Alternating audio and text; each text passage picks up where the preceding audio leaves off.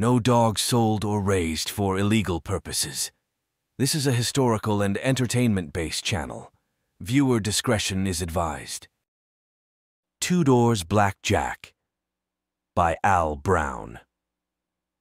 In all the years I've been messing around these dogs for whatever it's worth, I think the finest line of pit bulls in every way imaginable that I've ever run into anywhere was the Blackjack line. They were remarkable. Earl Tudor had the old original champion Blackjack.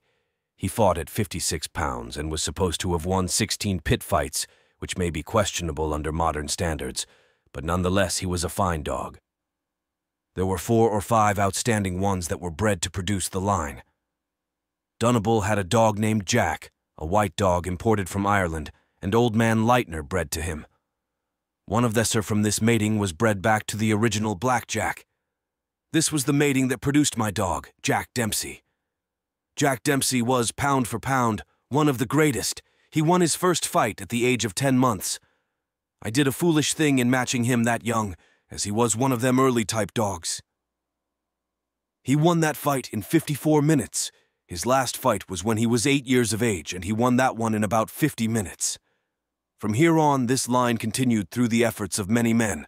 George Peterson was a well-to-do man who owned a string of moving picture shows he ran down in the Ozarks.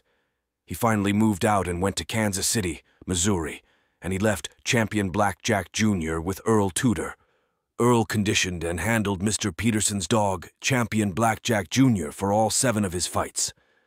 There was a whole bunch of controversy about who was the better dog of that day, Blackjack Jr. or Tacoma Jack. It's a doon shame that neither of them met a dog that was quite as good as the other. Mr. Peterson got a hold of a named Cunningham's Nell, who was of pure Henry breeding. She was a big brindle. Henry was a gambler, and he bred and fought many a dog in his day. He owned the old Black Brendy and Red Nugget, and all that family of dogs, and Cunningham's Nell was a 100% that line. She had two different litters, probably a year apart, sired by Champion Blackjack Jr., and practically all those pups were aces, these as well as the dogs. Those litters were what actually established the Blackjack line. Champion. Blackjack Jr. was one of the original nationally noted champions of that era. These dogs established quite a dynasty in their own right. There were no sullen of psychos in the bunch. They would work anything. Most of them were fair-sized dogs, 50, 52 pounds along in there, but they were hard punishers. Most of them would fight a shoulder hold that would disable a dog. They were absolutely, I thought, the gamest, best all-around dogs alive. Earl Tudor always named Blackjack as the finest dog he had ever seen. Apparently, the dog was no slouch, as he was many times matched with dogs much heavier than he was, and he always won. As a matter of fact, he was open to whatever was available at any weight.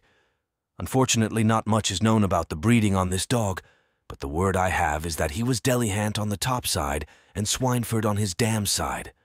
That is only hearsay, but his matches are well substantiated, and everyone whom I ever knew who saw him proclaimed him the best. Thanks for listening.